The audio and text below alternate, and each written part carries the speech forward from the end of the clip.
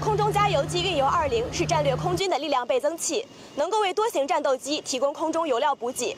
在我身后，运油二零正在奋力起飞，将奔赴预定空域，为多架歼十六战机进行空中加油保障。对接成功，开始出油。在长空之上，歼十六与运二零会合，成功完成油料补给。为后续开展远距离长航时多科目训练提供支撑保障。运油二零是战斗机远程奔袭作战的关键。我们团的飞行员现在为歼二零、歼十六、歼十五等战斗机开展空中加油保障已是常态。这些年来，我们深化练兵备战，瞄准新域新制作战，驾驶鲲鹏高飞远航，大幅度提升了远程机动投送能力。作为空军最早组建的运输航空兵部队，官兵们始终坚定一流过硬目标，在强军征程中勇当排头兵。夜幕降临，飞行员袁博和战友正在为今晚的夜航训练做准备。作为师里首批接装改装运二零的飞行员，袁博已经驾驶鲲鹏完成跨昼夜空投伞降、重装空投等多种任务。这些年，运二零全域作战、全时能战的能力越来越强，袁博感触很深。作为新制作战力量，我们始终紧盯作战场景，加紧战斗力建设。在接装运二零的四十六天后上高高原，五个月执行任务，七个月守出国门，短短几年内实现三无条件下空投、大机群远海飞行、超低空海上飞行等突破。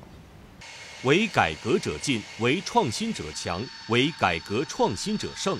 每次飞行前，飞行员都会带上鲲鹏之翼电子飞行包，它能够在最短时间内显示多种航空信息数据，帮助飞行员快速设定航线和制定飞行计划。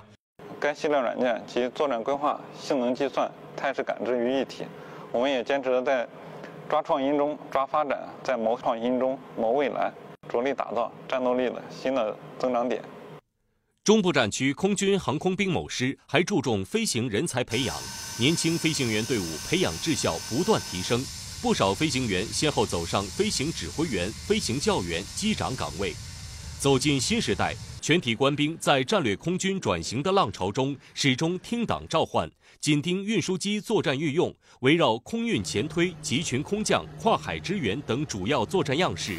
推动技法战法创新升级，锻造守护祖国和人民的钢铁之翼。大鹏一日同风起，扶摇直上九万里。这是我们官兵特别喜欢的一句话。